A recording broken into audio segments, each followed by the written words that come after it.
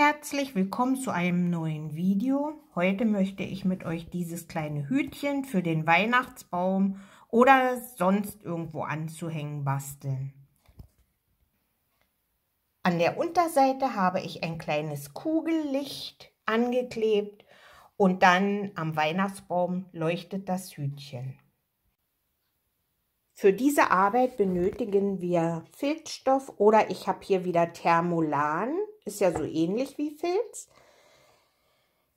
Eine Tasse für die Rundung habe ich hier schon vorgezeichnet.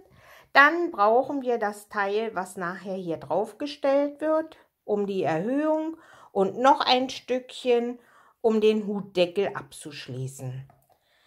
Ihr benötigt weiterhin Zierstoffe. Ich habe hier einmal, um den Hut abzuschließen, zweimal für die Umrandung, also beide Seiten werden beklebt und zweimal für die Hutkrempe oben und unten bekleben. Knickt euch den Kreis und findet so eure Mitte.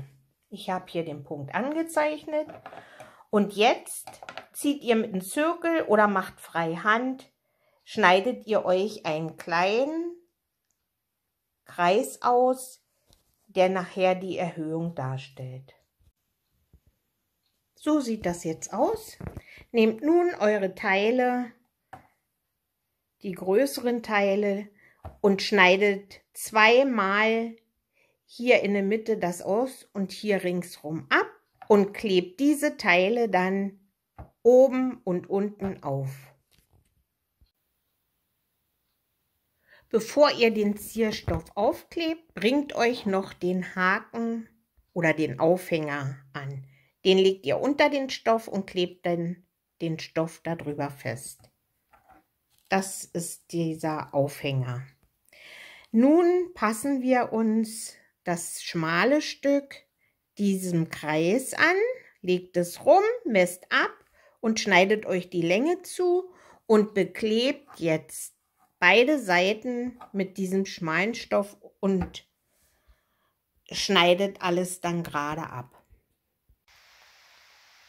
So sieht das jetzt aus, zusammengeklebt hier, aufgeklebt.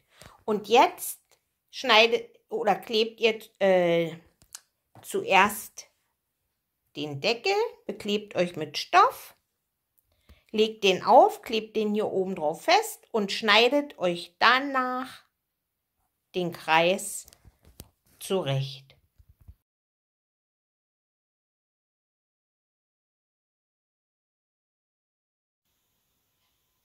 Diese kleinen Kugellichter habe ich im Internet gekauft und die kann man sich oder also wenn man möchte einkleben damit das Hütchen dann noch leuchtet.